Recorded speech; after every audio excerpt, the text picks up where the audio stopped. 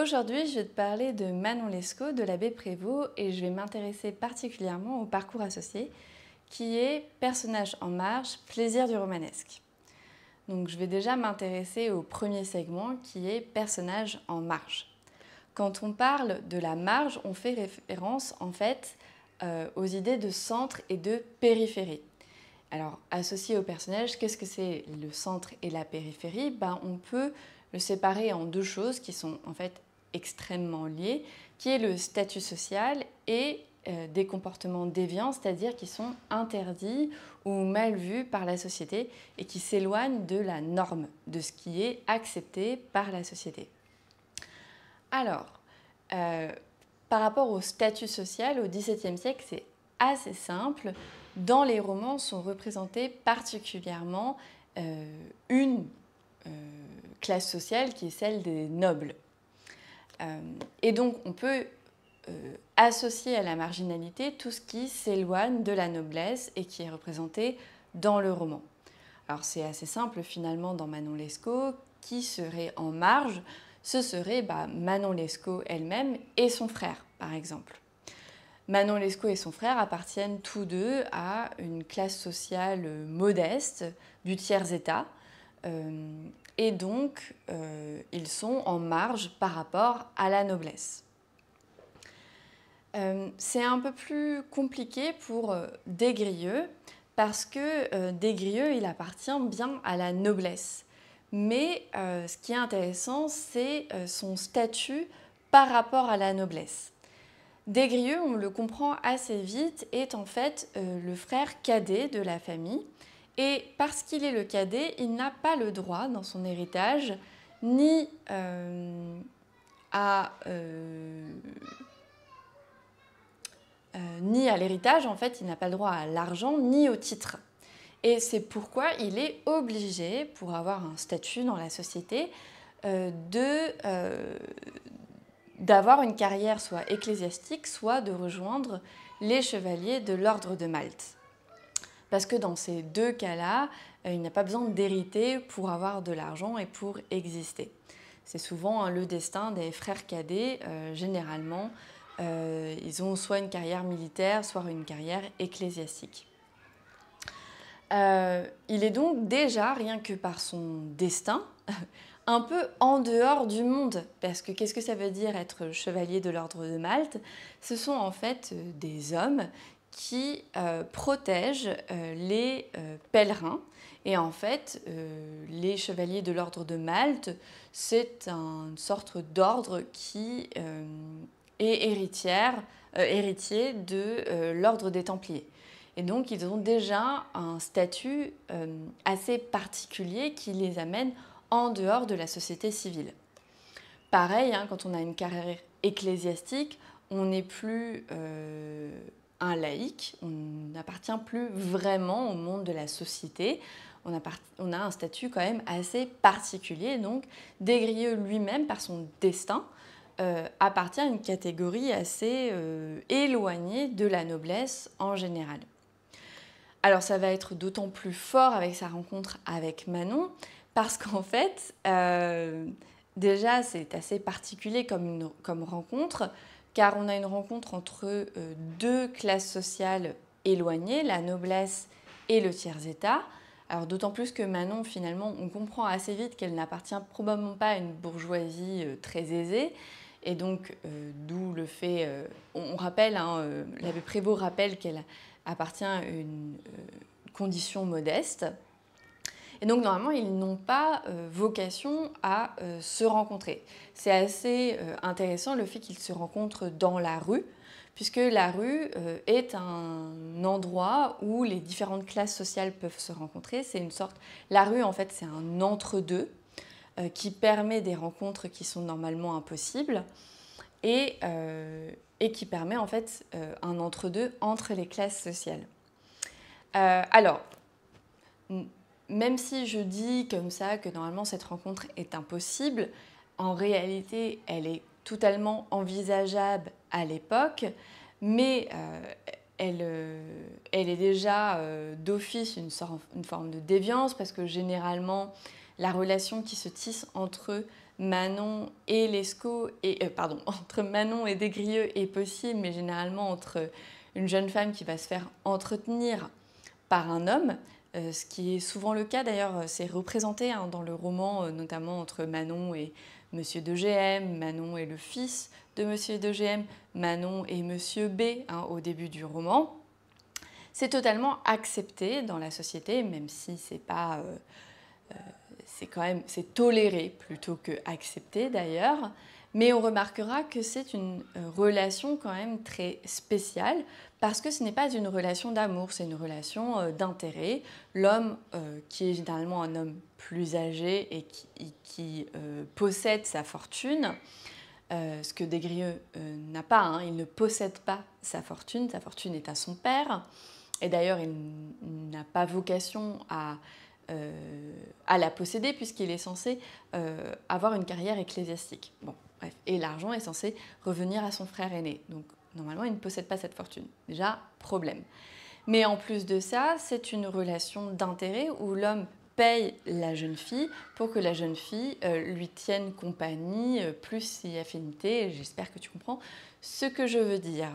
Ici, dans la relation entre Manon et Desgrieux, ce n'est pas une relation d'intérêt, c'est une relation d'amour, ce qui est complètement inenvisageable. Et c'est pour ça que euh, le père de Desgrieux est contre, euh, et même il en rit, parce qu'en gros, euh, lui, il aurait totalement accepté que son fils se paye une jeune femme, une prostituée, mais par contre qu'il puisse tomber amoureux d'une jeune femme qui est aussi éloignée de son rang, pour lui, c'est risible, c'est drôle. Voilà, c'est complètement ridicule et c'est insensé. Ce n'est pas raisonnable. Euh, puisqu'en fait, ce qu'on veut éviter à tout prix au XVIIe siècle, c'est la mésalliance, évidemment. Euh, donc ça, c'est la question du statut social qui, tu vois, est une question très importante dans Manon Lescaut. Autre question euh, du centre et de la périphérie, de la marginalité, c'est la déviance. Alors, tu vois, on en a déjà parlé en fait en parlant du statut social, mais je vais aller un peu plus loin. Manon, ce qui est intéressant, c'est que c'est déjà un personnage qui, dès le début du roman, euh, correspond à une forme d'éloignement euh, de ce qui est attendu d'elle dans la société. Premièrement, dès qu'on l'aperçoit, la première fois qu'on l'aperçoit, c'est à travers le regard de Renoncourt, et qui est le premier narrateur du roman. Et euh, tout de suite, il voit, il perçoit la différence de Manon par rapport aux autres femmes qu'il y a autour d'elle. Et il est surpris par la figure et le comportement de Manon. Il dit, c'est vraiment au début du roman, Parmi les douze filles qui étaient enchaînées six à six par le milieu du corps, il y en avait une, Manon, dont l'air et la figure étaient si peu conformes à sa condition qu'en tout autre état, je l'eusse prise pour une personne du premier rang. Ainsi, on comprend, en fait, si on lit entre les lignes, si on arrive à interpréter, que Manon, rien que par sa, manière d'être, son physique, ne semble pas appartenir à une condition modeste, mais en fait d'être noble. Et ça, c'est quelque chose qu'on va euh, répéter très souvent. Desgrieux va le répéter très souvent que Manon ne correspond pas, rien que par son physique, à sa condition. Donc elle est déjà dans une forme de déviance. Deuxièmement, Manon, elle est dans une forme de déviance par rapport à son statut social parce que euh, sa quête, c'est-à-dire ses motivations profondes, un peu ce qui motive le personnage de Manon, est très éloigné de ce qui est attendu d'une jeune fille de sa condition. Euh, cela nous est dit euh, dès la première rencontre avec Desgrieux. Euh, il comprend en fait que Manon doit être amenée au couvent. déjà, hein, elle est censée, comme lui, être hors du monde. Et pourquoi elle doit aller au couvent? C'est parce qu'en fait, elle a le goût pour les plaisirs. Alors, est-ce que je vais retrouver ce passage-là? Euh,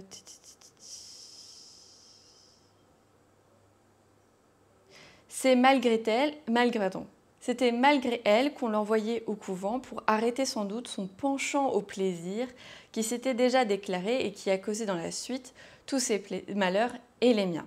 Ici, en fait, il faut comprendre, euh, premièrement, une déviance toute simple, c'est que Manon probablement, et on le voit dans sa façon de, de maîtriser cette première rencontre avec des grieux qui lui parlent, qui la trouvent déjà très charmante et qui lui dit probablement déjà des mots d'amour, qu'en fait Manon, euh, elle a déjà compris euh, le mode de la séduction, et bien qu'elle ait 15-16 ans, elle a dû déjà avoir des histoires d'amour avec d'autres hommes, et donc si on l'envoie au couvent, c'est pour éviter le déshonneur sur la famille, et notamment qu'elle est probablement euh, un enfant hors mariage illégitime, qui serait vraiment vu comme un déshonneur pour la famille.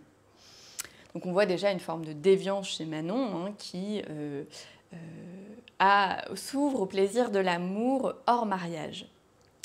Autre déviance de Manon et qu'on peut comprendre aussi dans l'expression son penchant au plaisir et qu'on peut comprendre grâce à la suite du roman, c'est que Manon, elle a des goûts qui ne correspondent pas à son statut social. Manon, elle vient d'une condition euh, très modeste et pourtant, elle a des goûts euh, très euh, fastueux. Hein. Euh, elle a un goût du luxe.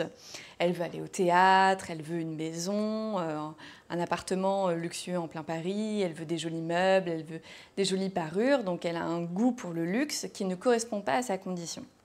Et donc, c'est probablement pour ça aussi qu'on veut réprimer cette envie d'aller au-delà, de, de s'extraire en fait de son de sa condition et qu'on cherche à la mettre au couvent, puisque dans une société aussi traditionnelle euh, que celle euh, du XVIIe siècle, c'est inacceptable que quelqu'un veuille euh, échapper à son statut social et à son destin. on peut voir en fait dans la déviance de Manon simplement une quête du bonheur individuel et de la liberté. Alors, Desgrieux, lui aussi, il appartient à une forme, il a un destin euh, qui, euh, dans sa relation avec Manon, euh, tourne à la déviance. déjà parce que, premièrement, il coupe les ponts avec sa famille, hein, et donc, pour vivre avec Manon. Et donc, déjà, eh bien, il échappe à son destin, qui était d'avoir une carrière ecclésiastique ou alors d'appartenir à l'ordre de Malte. Mais en plus de ça, pour vivre avec Manon, il comprend très rapidement qu'il a besoin d'argent. Euh, et donc, il est poussé euh, à la déviance, euh, notamment par le jeu, par les jeux d'argent, par la triche. Hein. il va jusqu'à tricher, il va même jusqu'à tuer pour Manon. Hein. ça, c'est l'extrême déviance avec le meurtre. Euh, il ne faut pas oublier ça. Il va même jusqu'à manipuler son propre père, son meilleur ami Tiberge pour avoir de l'argent. Donc il y a vraiment une déviance euh, euh, là, ici, qu'on peut qualifier comme une déchéance morale. Et même Manon, elle, elle aussi, est poussée à une forme de déviance pour obtenir, en fait, alors ça je vais revenir juste après, hein, mais elle est aussi poussée à une forme de déviance puisqu'on peut voir, euh, même si elle n'est pas une prostituée, on peut quand même y voir une forme de prostitution. Donc elle est poussée hein, à vendre son corps pour avoir euh, le, bonheur et euh, le statut qu'elle voudrait avoir. C'est ça qui est intéressant en fait. Qu'est-ce qui pousse à la déviance? Qu'est-ce qui amène à la déviance? Ce n'est pas forcément les désirs des personnages qui sont finalement, et encore plus dans nos sociétés, totalement acceptables, hein, de vouloir vivre avec l'amour de sa vie et de vouloir euh, accéder à, des conditions meilleures que celles qui sont les siennes d'origine. Voilà, c'est totalement acceptable, mais ce n'est pas acceptable par la société. C'est la société qui brime, qui oppresse et qui interdit aux personnages d'obtenir leur plus grand désir, leur plus grand bonheur personnel.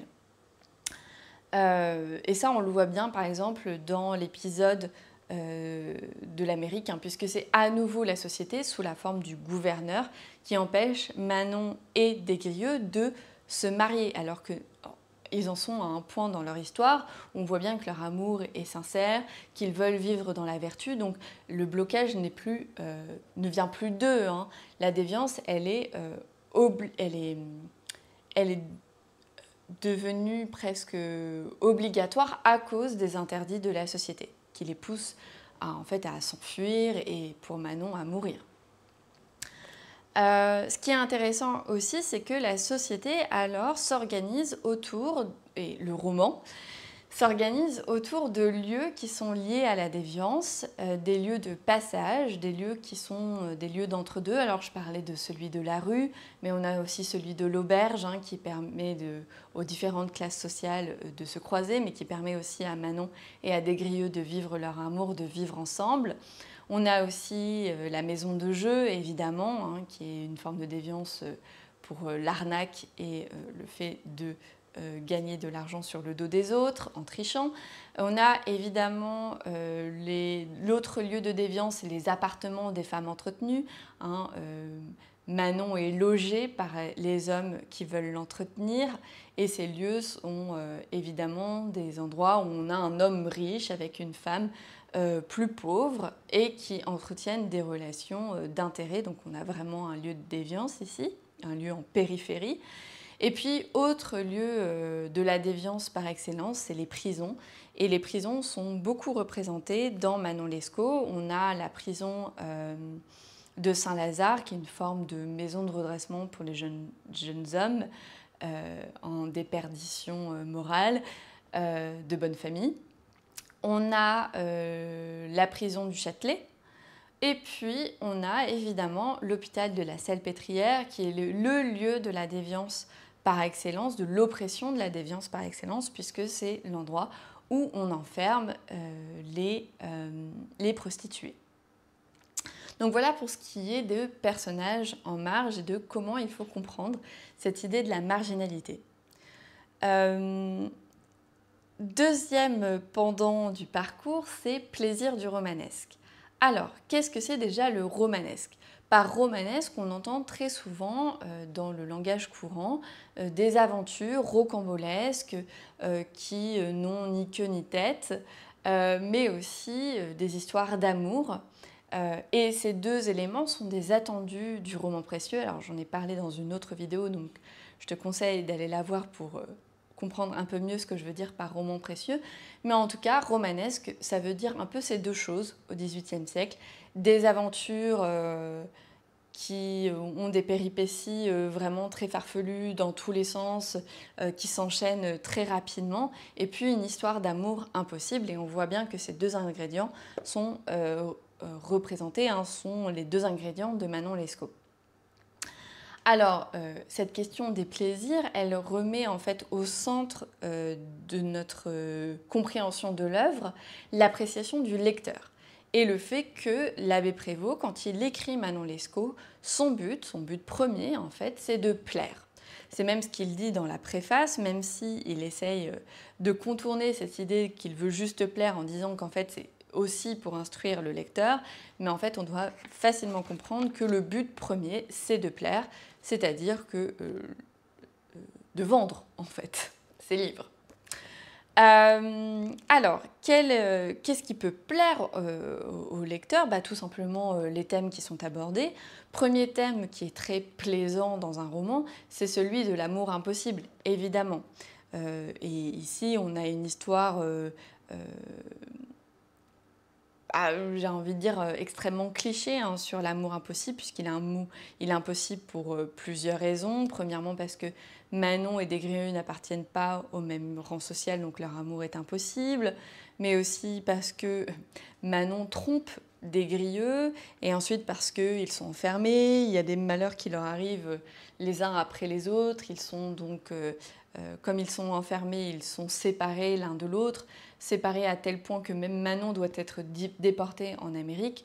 Donc là, on a vraiment euh, une histoire d'amour impossible qui a tous les ingrédients euh, attendues.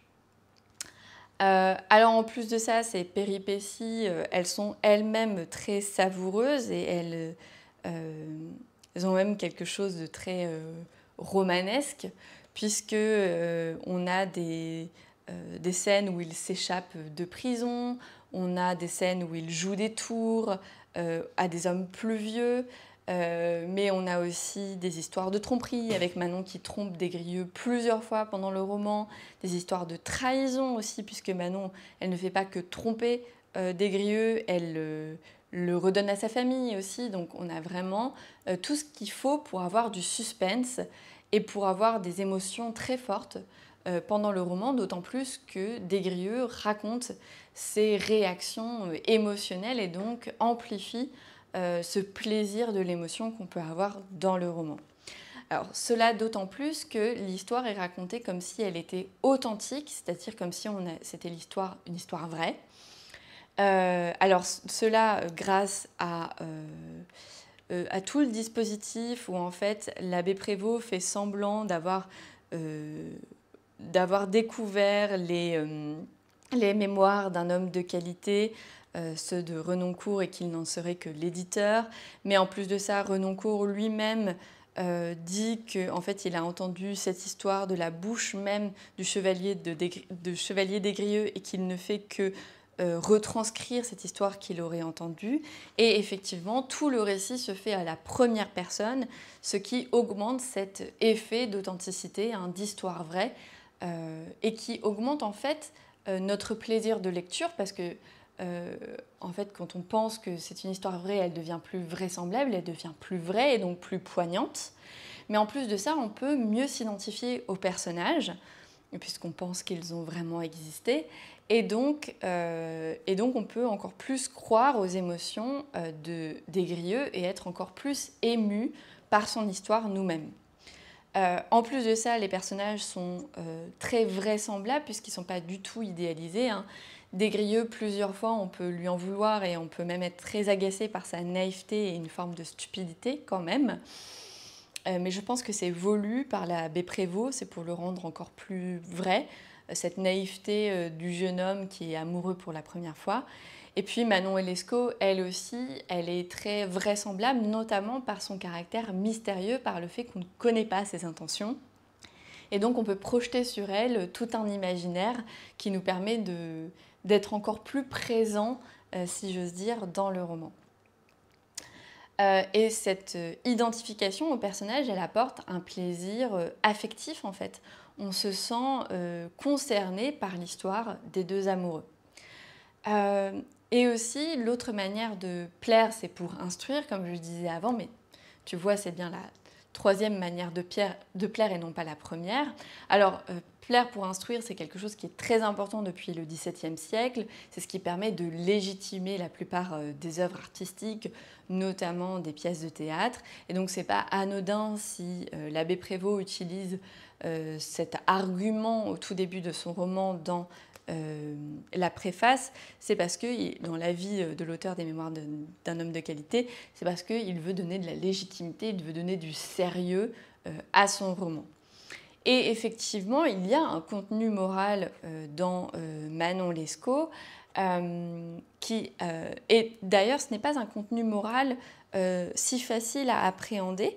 ce serait difficile à la fin du roman en fait de donner une morale au roman on pourrait croire que l'abbé Prévost condamne en bloc euh, le comportement de Manon, mais après tout, euh, Manon devient vertueuse et puis la plupart de ses comportements lors du roman sont compréhensibles, sont même euh, expliqués finalement, même si Desgrieux fait semblant de ne pas avoir compris. Et puis, Desgrieux lui-même n'est pas irréprochable et la fin du roman laisse quand même planer le fait qu'il serait difficile de trouver une leçon de morale dans le roman, ou en tout cas c'est sujet à discussion.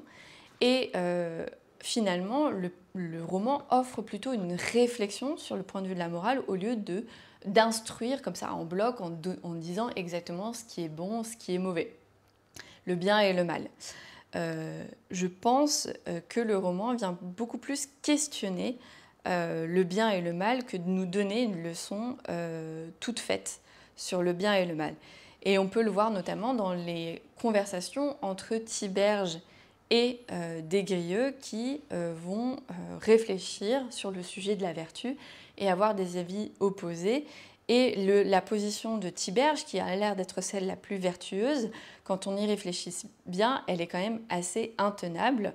Euh, puisqu'il dit que le bonheur peut être acquis par la vertu, mais en réalité, nous, tous, êtres humains, on sait bien que quand on a connu le bonheur par l'amour, euh, de sacrifier l'amour ne va pas forcément nous rendre heureux. Euh, et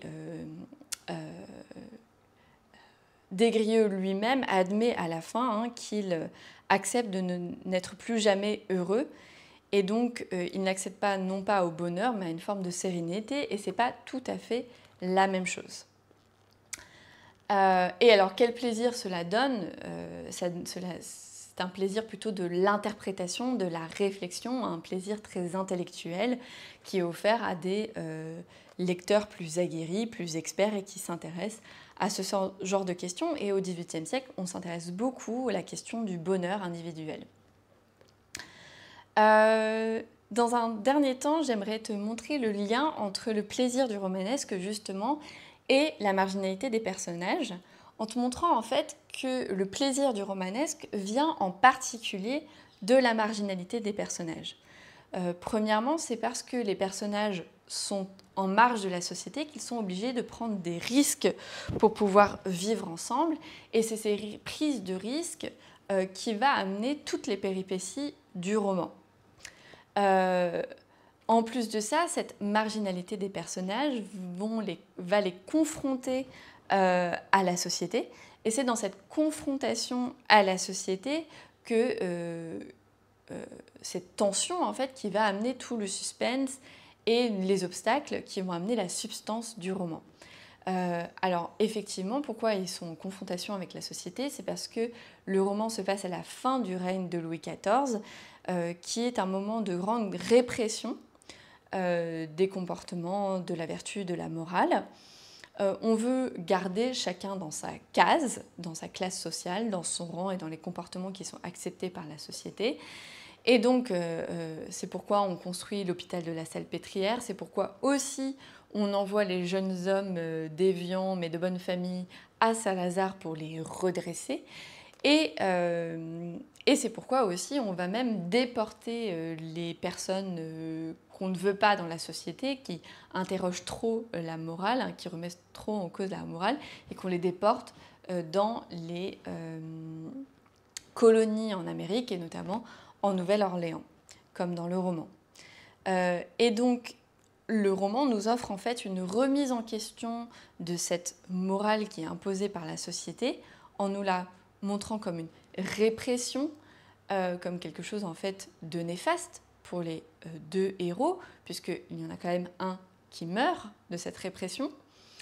Et cette morale est remise en question par une par un renouveau euh, de la vertu, une vertu qui viendrait d'un comportement individuel qui s'éloigne de celui de la tradition et de sa famille, euh, qui serait motivé par une quête du bonheur et qui serait euh, rendue vertueuse par le sentiment amoureux qui mettrait le personnage, bah, qui met en fait le personnage des Grieux à l'épreuve. Et c'est euh, à l'épreuve de l'amour qu'il va montrer sa véritable valeur, qui va vraiment se, devenir sublime, euh, puisqu'il est capable, comme il le dit lui-même, de sacrifier euh, et son amour propre, et son amour pour sa famille, et son destin par amour. Et Manon, pareil, hein, va se montrer sublime dans l'épreuve de l'amour, puisqu'à la fin, elle va suivre Desgrieux et elle va en mourir. Euh, alors, on peut voir aussi qu'il y a une fascination euh, du XVIIIe siècle pour la périphérie, euh, une périphérie ici, comment dire, géographique pour l'Amérique.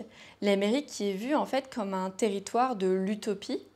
et utopie, alors utopie lui-même, le mot veut dire en fait un non-lieu. Hein. U, ça veut dire non. Et topos, ça veut dire le lieu, donc l'utopie c'est un non-lieu, un lieu qui n'existe pas, un lieu imaginaire, dans lequel on peut imaginer reconstruire une société sur de meilleures bases, comme l'Amérique. Mais on voit bien ici que euh, l'abbé Prévost dans Manon Lescaut remet en question cette vision un petit peu euh, fantasque et euh, trop utopique, justement, de l'Amérique. Puisque l'Amérique est quand même viciée par la société du temps, euh, les deux amoureux retrouvent la répression de la société du euh, XVIIe siècle sous Louis XIV. Ils n'y arrivent pas à y échapper. Même le désert hein, est une impasse puisque Manon meurt et, euh, Desgrieux est finalement repris dans la société de son temps. on voit ici à la fin du récit donc qu'il y a un retour à la tradition et à la norme euh, et euh, ce retour à la norme signe la fin du récit, donc la fin du romanesque. Euh, et donc on voit ici que la marge, c'est ce qui permet un espace de liberté, de liberté en fait de création du roman. et ça se, montre aussi grâce, par la liberté du style qui est utilisé par l'abbé Prévost, puisque en fait le sujet de Manon Lescaut est un sujet bas, après tout, c'est euh, un amour interdit entre euh, une jeune femme d'une condition basse avec un jeune homme euh, qui se met à avoir des comportements déviants pour pouvoir vivre avec elle. Donc c'est un sujet vraiment très bas qui est proche de celui de la des comédies. Hein. Et, mais il va être traité dans un style haut, dans un style élevé, notamment par le registre lyrique et pathétique qui est employé tout au long du roman. Et donc ici aussi, on peut voir une forme de marginalité dans l'écriture et la structure du roman. Voilà, j'espère que ces éléments sur le parcours associé te permettront de mieux comprendre l'œuvre et de mieux réussir la dissertation. Et je te souhaite un bon courage pour tes révisions.